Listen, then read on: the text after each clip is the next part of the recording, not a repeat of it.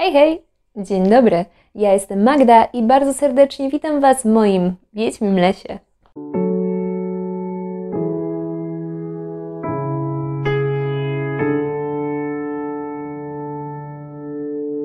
Przychodzę do Was z odcinkiem czwartym Naukowej Środy, w którym będziemy mówić o wariegacjach, czym są, e, czy dobrze, że są i co robić, żeby wybrać dobrą roślinę z wariegacją. Dodatkowo, pod koniec filmów dowiecie się, dlaczego jestem hipokrytką i zrobimy unboxing mojej nowej, dosyć sporej, jak widzicie, Monstery Variegaty, której jeszcze nie miałam. Zostańcie ze mną. Żeby zrozumieć, czym jest wariegacja, najpierw trzeba wiedzieć, czym są barwniki i jakie mamy barwniki w roślinie.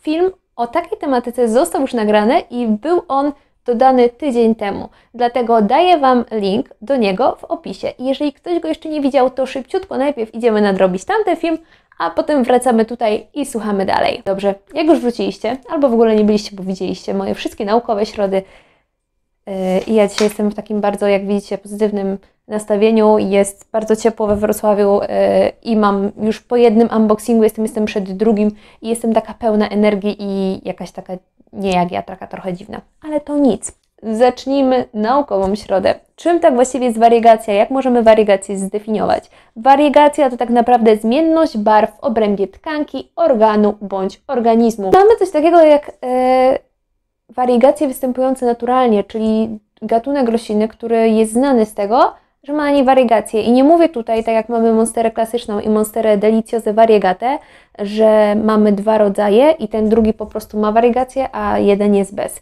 Mówię tutaj o roślinach, które typowo z taką wariegacją, jakimś wzorem na liściach się pojawiają. I takim przykładem może być Pila cadierej. Tutaj złapię ten keramzyt, widzicie? Ona ma jasne przebarwienia na liściach, to jest wariegacja, która występuje naturalnie, jest typowa dla jej gatunku, dla jej odmiany. Natomiast mamy również do czynienia z wariegacjami, mm, które nie występują typowo dla danej rośliny. To znaczy teraz już występują, bo są specjalnie produkowane, tak jak Monstera variegata. Jest specjalna produkcja robiona, bo ludzie ją chcą, więc ona się pojawia. Ale w naturze nie występują dopóki nie zajdzie jakaś mutacja, nie będziemy mieli niestabilnej genetyki, może się nam czasami pojawić e, muta- wariegacja, która jest związana z niedoborami i może nam się pojawić wariegacja, która jest wariegacją wirusową. Może pokrótce omówię tę e, wariegację wirusową i wariegację spowodowaną niedoborami. Jeżeli chodzi o wariegację spowodowaną niedoborami, to tutaj macie idealny przykład. To znaczy, może inaczej. E, nie dam sobie ręki uciąć za to, że to była wariegacja spowodowana niedoborem. E, natomiast wiem, że nie jest to roślina, która była kiedykolwiek wariegatą, która ma geny wariegacji. Jest to roślina, która czasami na którymś liściu pojawiają się jakieś przebarwienia. Nie są to przebarwienia typowo białe bądź typowo żółte, są to raczej pojawiające się jaśniejsze miejsca. Może to być spowodowane niedoborem składników odżywczych, w takim przypadku należy tą roślinę nawieść. Może być to również spowodowane po prostu spontaniczną wariegacją, która się pojawia na liściu w małym miejscu, która nie będzie przeniesiona na całą roślinę. E, co należy zrobić w takim przypadku? Na pewno nie należy sprzedawać tej rośliny jako wariegaty, albo się cieszyć, że się ma wariegatę. To nie do końca tak działa, właśnie po to powstał ten film, żeby to wyjaśnić. Natomiast warto sprawdzić, przemyśleć, czy się dawało tej roślinie nawozy, czy ta roślina czasami nawozów nie potrzebuje. Jeżeli nie jesteście pewni swojej wiedzy dotyczącej nawożenia roślin, to bardzo serdecznie zapraszam Was do mojego filmu poświęconego właśnie nawozom i on również będzie podlinkowany w opisie. Boże, ten film się będzie jakąś wielką jedną reklamą. Mnie, nieważne. Ale nie zawsze jak otwiera nam się liść e, i pojawi się jakieś przebarwienie, musimy się martwić, że rośliny nie dożywiliśmy. Też nie przewinajmy w drugą stronę i nie przenawoźmy rośliny. Ja na przykład bardzo często mam tą właśnie u alokazji, ale moja alokazja Silver Dragon. Takie rzeczywiście przejaśnienia plamowe się zdarzają i nie ma się za bardzo E, czym martwić i, i wyrywać sobie włosów z głowy. E, bardzo często, jeżeli chodzi o wariegację wirusową i wariegację niedoborową, to ona się ostatnimi czasy bardzo często pojawia. Gdzie? E, był swego czasu rzut Monstera Lansoni i Monster i Rafidofory tetraspermy w sklepach, które miały takie żółtawe przebarwienia. Najprawdopodobniej były to przebarwienia spowodowane albo jakąś chorobą wirusową, i nie mówię na 100%, że to była mozaikowatość liści, dlatego że mozaikowatość tak naprawdę pojawia się stosunkowo rzadko, a wirusów, które powodują podobne e, skutki widoczne dla nas, jest bardzo dużo. Więc mogła to być jakaś zaraza wirusowa, mógł to również być niedobór składników odżywczych dla rośliny. Dlaczego tak uważam?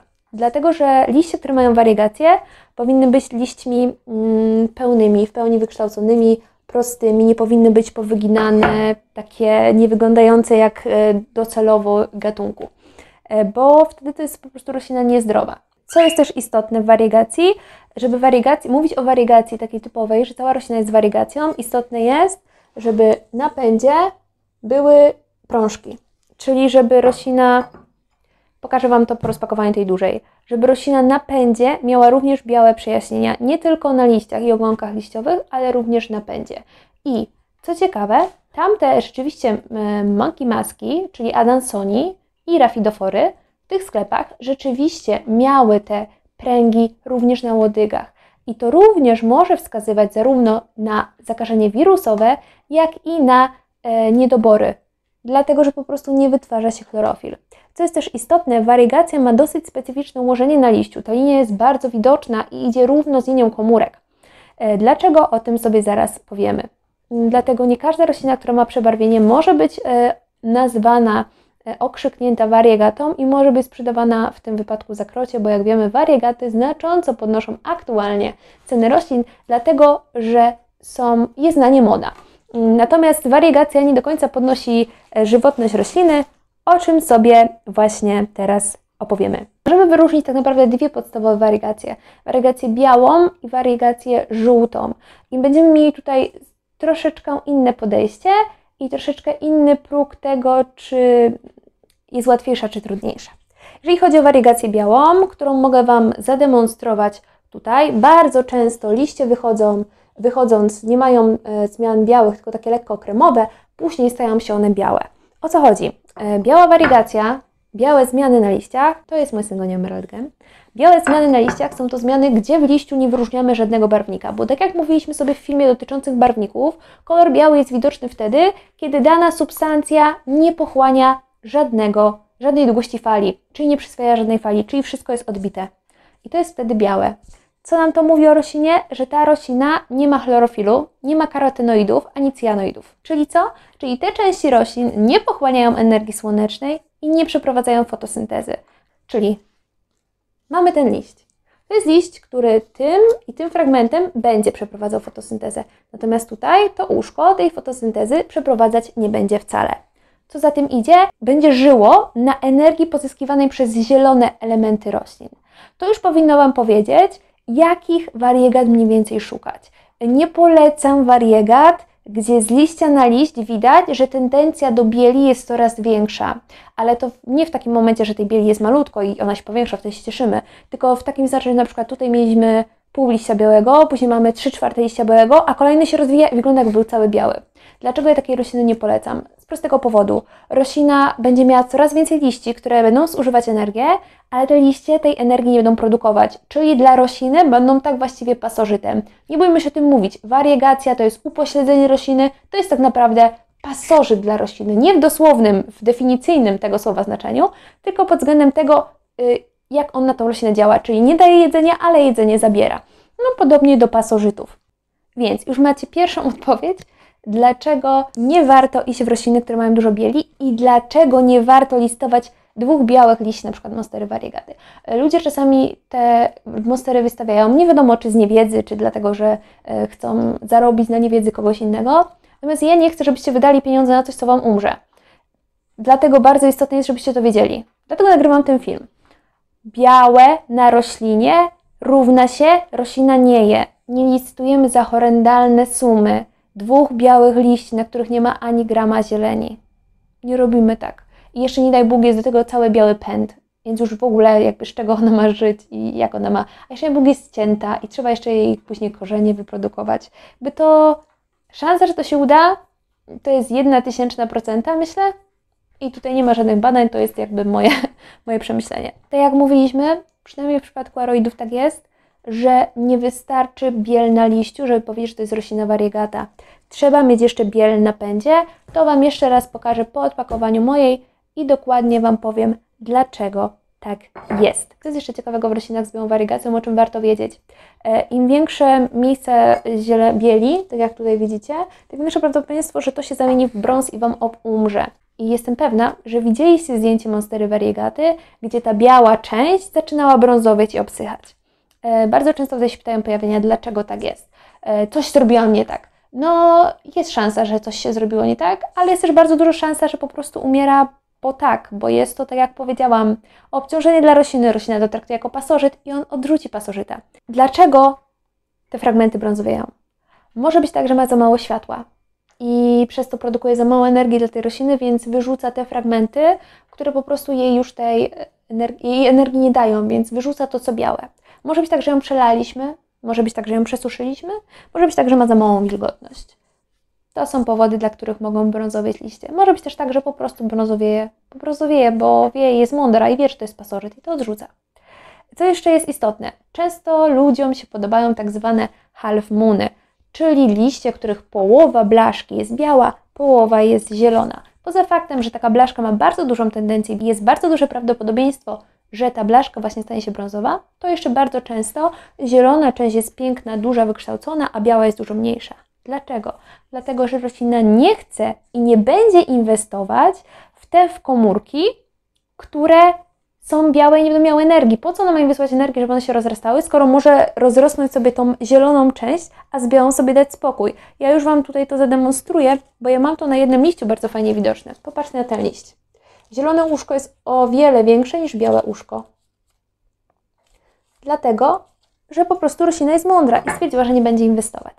A skąd pewność, że jak wyślę energię w tą białą część, to ona nie wytworzy części zielonej? Otóż w wariegacjach takich typowych, które przechodzą z liścia na liść, chodzi o to, że że są komórki, które z jakiegoś powodu, najczęściej mutacji genetycznej, nie mają w swoim materiale genetycznym, nie mają informacji, która pozwoli wyprodukować chlorofil w chloroplastach. Co za tym idzie? Rozrost liścia idzie w taki sposób, że to się nie dobudowywują nowe komórki, tylko idzie impuls do komórki, która już istnieje, żeby doszło do mitozy i rozdzielenia jednej komórki na dwie, na dwa klony. Jak słyszeliście, na dwa klony. Czyli jest komórka macierzysta i komórka klon.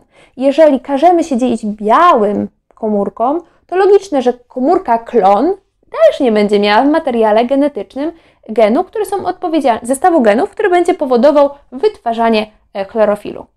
Dlatego roślina w te części nie inwestuje. Mamy również do czynienia z czymś takim jak wariegacja żółta. I proszę bardzo, przypadek. Philodendron burle marx variegata. I ja na pewno już na niejednym filmie wspominałam, że ten kolega wypuścił mi dwa zupełnie żółte liście i że jestem na niego zła. Ale nie mówiłam, że od razu będę cięła, żeby usunąć, żeby nie obciążać rośliny. Jaka jest różnica między tą rośliną, a rośliną z białą wariegacją, czyli między żółtą wariegacją? Żółta wariegacja nie ma chlorofilu, owszem, ale ma karotenoidy. Karotenoidy, które trochę w tej fotosyntezie pomagają, trochę coś tam pociągną. Roślinom z żółtą wariegacją dużo rzadziej żółte części zasychają na brązowo. Często zdarza się, tak jak w przypadku tego liścia, że on z takiego zupełnie żółtego stał się bardziej limonkowy, neonkowy, czyli jakaś tam część chlorofilu się wytworzyła, natomiast nie na tyle duża, żeby przykryć karotenoidy. Tak jak Wam opowiadałam w filmie o barwnikach, tutaj e, bardzo duże znaczenie do wybarwienia liścia ma stężenie danych barwników. I właśnie tym przypadku to nie jest tak, że mamy całkowity brak barwników, tylko na pewno są obecne karotenoidy, czasami również pojawia się chlorofil. I to jest y, bardzo duża, horrendalna wręcz dla rośliny różnica między żółtą wariegacją a wariegacją białą. E, jeżeli chodzi o wariegację, to Was uspokoję. Dla osób, które mają monsterę mm, marmoratę bądź monsterę aureę, e, to jest ta sama roślina, to jest wciąż wybarwienie żółte. Aurea po prostu oznacza, że wybarwienie jest żółte to jest to bardzo częste zjawisko, że liść najpierw wychodzi cały zielony i z biegiem czasu robi się żółty. Tak naprawdę to nie do końca tak działa. To działa tak, że liść po prostu wychodzi zielono-żółty. Bo jak wiemy, młode liście wychodzą jaśniejsze, bo jak są zwinięte w rurkę, nie dociera do nich wystarczająca ilość światła, żeby one produkowały dużo tego chlorofilu i robiły się zielone. Jest dużo karotenoidów, ale nie ma dużo chlorofilu. W momencie, kiedy się rozwiną, są jasno-zielone, limonkowe wręcz powiedziałabym. E, a tak właściwie to są żółte, tylko my tego nie widzimy. i w momencie, kiedy ten liść się rozwija, zaczyna do niego docierać światło słoneczne, to komórki, które mają geny chlorofilu zakodowane w sobie, zaczynają ten chlorofil produkować w większej ilości do chloroplastów i w ten sposób po prostu liść pozostały nabiera zieleni. To nie jest tak, że pojawia się żółć, tylko że liść nabiera zieleni. I wtedy ta, ta, ten, ta jasna zieleń, która nam wyszła z liścia, w zestawieniu z tą ciemną zielenią, wydaje nam się żółta, bo jest żółta. Po prostu teraz mamy punkt porównania i wydaje nam się żółciejsza. Dlatego się mówi, że żółć się pojawia. Nie, to zieleń się pojawia, nie pojawia się żółć, pojawia się na liściu zieleń. Tak samo w przypadku żółtych, jak i białych wariegat istotne jest, żeby było paskowanie. Paskowanie pokażę Wam później, ale może teraz omówię, dlaczego to jest takie istotne. Dlatego, że jeżeli mamy paskowanie na łodydze, to mamy 99% szansy, że wzrost roślin nadal będzie mm, z wariegacją, dlatego że geny odpowiadające za wariegację są zawarte w pędzie, czyli w tym głównym miejscu, z którego rozrastają się liście, który to przekazuje geny, bo tak jak mówiliśmy, komórki się dzielą i to z pędu dzieli się liść. Nie z liścia dzieli się pęd, tylko z pędu dzieli się liść. Dlatego, jak mamy do kupienia monsterę, która ma pięknie wybarwiony liść, pięknie, ale na pędzie jest na przykład pojedynczy pasek bieli, albo nie ma nic, no to szansa, że kolejny liść też będzie pięknie wybarwiony, jest bardzo mała. Porozmawiamy sobie teraz o czymś takim jak regresja. Tak jak wspomniałam, wariegacja to jest coś, czego roślina chce się pozbyć. Co za tym idzie? będzie starała się wrócić do całkowitej zieleni. I wtedy mamy do czynienia z tak zwaną regresją, czyli po wybarwionych liściach pojawiają się liście zielone. Jak sobie z tym radzić? Najlepiej odciąć roślinę nad ostatnim białym liściem. Pamiętajmy, żeby odciąć oczkiem. Ten regres nie wyrzucamy, warto go sobie zostawić albo sprzedać za dużo niższą cenę, podpisując, że jest to regres, bo szansa, że on wróci jest. Ja mam taką sadzonkę od mojego syngonium, która była właśnie całkowicie zielony liść pędowy, który był regresem. Ja go wycięłam i on wrócił. Co prawda wybarwienia jeszcze nie ma spektakularnego, ale te liście rzeczywiście się wybarwiają, a był zupełnie zielonym liściem. Zarówno wariegacja na emeraldzie, jak i wariegacja na Burle Marx jest wariegacją niestabilną. E, I w naturze występują tylko wariegacje niestabilne. Chyba, że mówimy o wariegacjach typowych dla danego gatunku, tak jak w przypadku Pilei Cadierei, to wtedy ta wariegacja rzeczywiście stabilna, bo to jest typowe dla warunku, na, dla gatunku. Natomiast mówimy o wariegacjach typu na monsterze, na syngoniach, które pojawiły się spontanicznie i które w naturze nie są jako osobny gatunek opisywane, tylko jako roślina chora tak naprawdę. Wszystkie te rośliny, tak jak powiedziałam, mają e, niestabilną. Natomiast możemy wyróżnić też coś takiego jak wariegacja stabilna. I są to rośliny, które tą wariegację posiadły przez to, że były w jakiś sposób genetycznie modyfikowane. I takim przykładem rośliny jest wszystkim zapewne znana, przynajmniej wszystkim z mojego kanału, bo ją dosyć często pokazuję, Monstera Thai Constellation. Proszę bardzo, oto ona i jej najnowszy liść. Jak widzicie, ta wariegacja jest taka mm, kremowa, ona jest nie do końca biała, jest rozsiana jak e, niebo, mm, niebo nad Tajlandią, dlatego się nazywa Thai Constellation, ogólnie jak niebo nocą, gwiazdami. E, jest to roślina, która została genetycznie zmodyfikowana do tego, żeby ta wariegacja była stała. Kupując Thai Constellation nie musimy się martwić o regres, ona się będzie wybarwiać. Oczywiście są Thai Constellation ładniej, bardziej wybarwione i mniej wybarwione. To jest zupełnie normalne, bo tutaj bardzo dużą rolę grają geny i światło.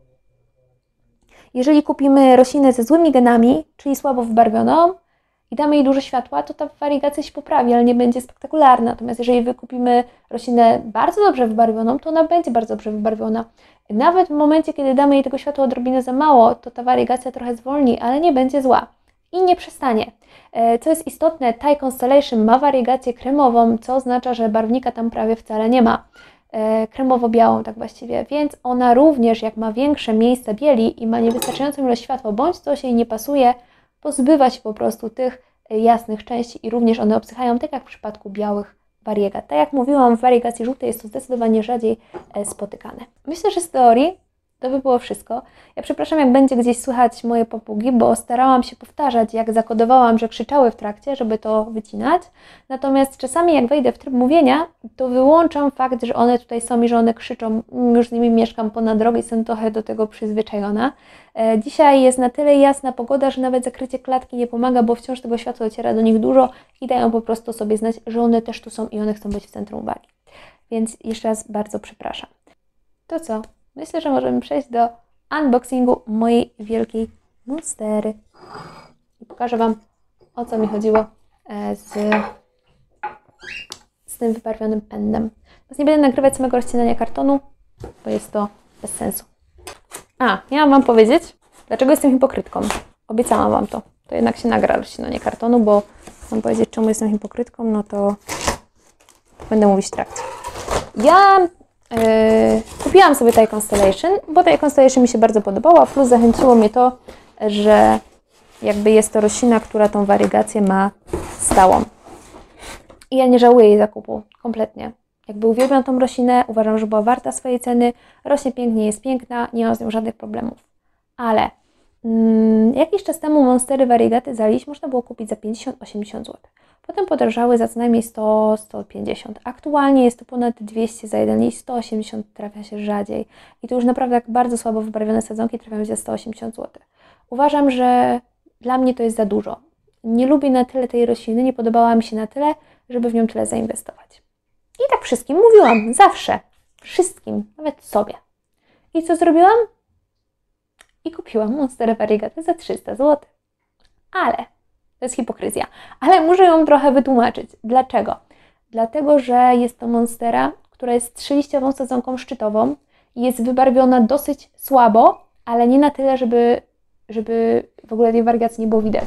Ja szukałam takiej monstery, żeby ona nie miała dużych białych e, miejsc, bo po prostu nie podobają mi się estetycznie obsychające miejsca. Wolę mieć monsterę, która ma mniejszą wariegację, ale nie będzie miała tych obsychających plam.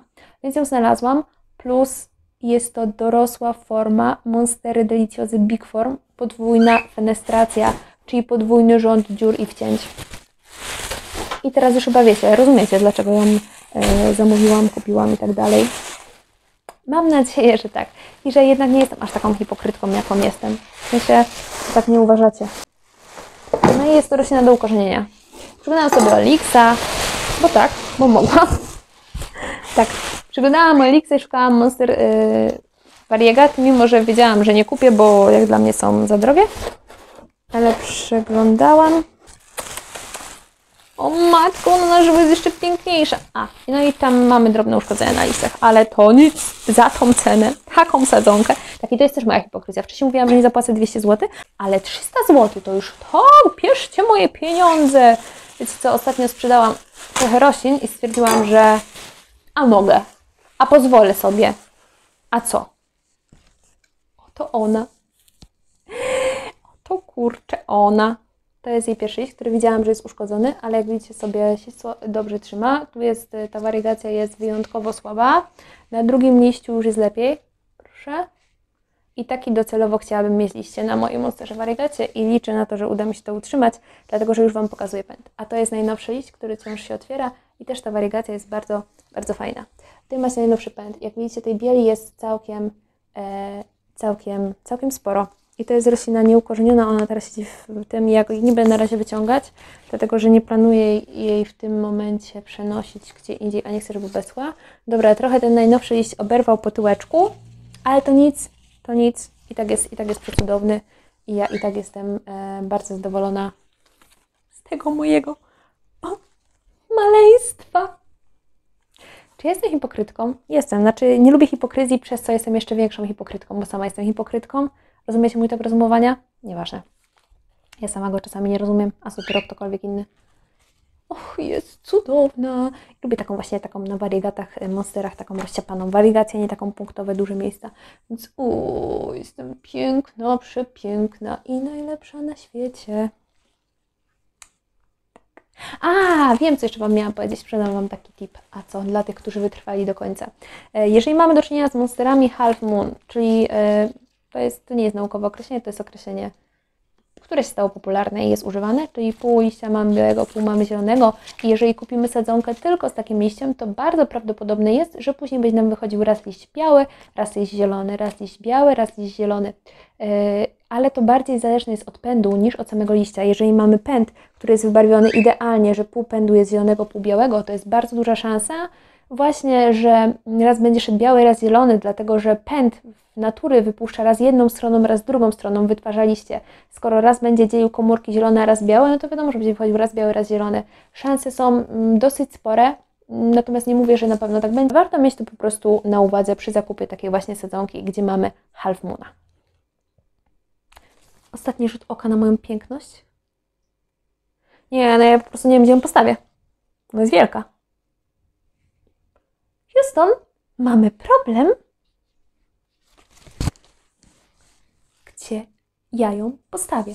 No ale wiecie co, może i jestem hipokrytką i możecie mnie tak nazwać, ale ja uważam, że skoro zielone monstery, w sensie klasyczne monstery w formie dorosłej, za trzy liście chodzą po prawie stówę, to 300 za tą samą monsterę, ale z wariegacją, to wcale nie jest dużo. Tym bardziej, że jest to sadzonka szczytowa, jak widzicie, i ona kolejne liście nie będzie wypuszczać od nowa, tylko nadal będzie szła dużymi liśćmi. A jeżeli nie wiecie, dlaczego sadzonka szczytowa idzie dużymi liśćmi, a sadzonka pędowa nie idzie od razu dużymi liśćmi, to bardzo serdecznie zapraszam Was do mojego filmu Naukowa Środa, odcinek bodajże drugi, gdzie mówimy o budowie rośliny i o różnicach między sadzonką szczytową a wierzchołkową. Tak jak mówiłam, ten dzisiejszy film to jest reklamą moich innych filmów, ale robię to tylko i wyłącznie dlatego, że naukowe środy mają dużo mniejsze powodzenie niż filmy typu yy, co aktualnie ukorzeniam albo przegląd. I nie wiem, że to źle, że tamten ma duże powodzenie. Bardzo mnie to cieszy. Ja mówię tylko, że, że, że moje naukowe środy też by mogły mieć. O, zgnity korzeń. Korzeń zgnił. Patrzcie. Korzeniek, yy, którego wyrwałam, muszę to jeszcze zaraz dociąć i zakryć yy, węglem aktywnym. Korzeń, który jest brązowy, miękki, śliski, jest do wyrzucenia, bo gnije i jak nie chcemy, żeby zgniła od niego cała roślina, to go odcinamy, stawiamy, żeby się miejsce zagoiło i elo. Jeszcze raz Wam pokażę. Mam nadzieję, że ten film jest dla Was przydatny, że nie sądzicie, że jestem aż taką hipokrytką, jak ja sądzę, że jestem. Szczególnie ci, którym mówiłam, że nie kupię Monstery Variegaty, bo są drogie, chyba, że mi się trafi jakaś tania. No nieważne. Jestem bardzo zadowolona z mojego zakupu. Bardzo Wam dziękuję za dzisiejszy film i dajcie znać, co myślicie o takim filmie. I myślę, że w następnym tygodniu albo za dwa tygodnie następna naukowa środa to będzie dotyczyła e, splaszu u hoi, dlatego że splash to nie jest wariegacja i będzie dotyczyła również stan stresu, czyli opalania stresowego hoi, jak również myślę, że omówimy też, czym jest tak właściwie wariegacja u hoi, a czym splash, bo tutaj są małe różnice. Co Ty myślicie? Dajcie mi znać, czy taki następny, taki następny temat naukowej środy będzie Wam odpowiadał. Ja się z Wami żegnam widokiem y, mojej przepięknej nowej Monster Deliciozy wariegaty, którą mam nadzieję się ukorzeni bez problemów i będzie rosła i będzie tylko coraz piękniejsza i nie mam zielonego pojęcia, gdzie się zmieści, żeby mieć dużo światła. Dziękuję Wam bardzo. Życzę Wam miłego tygodnia. Do zobaczenia w piątek o 17. Również będziecie widzieli unboxing z dzisiaj, więc wystąpię w tym samym outficie i będę równie pokręcona w mówieniu przez energię, która przyszła do mnie wrazem z wiosną. Trzymajcie się, pa!